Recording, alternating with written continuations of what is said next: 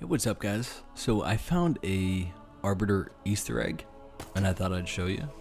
It's on the AA gun island, actually right above where the demo took place. As soon as you take out that AA gun, go to the top of that cliff, that's where you find it.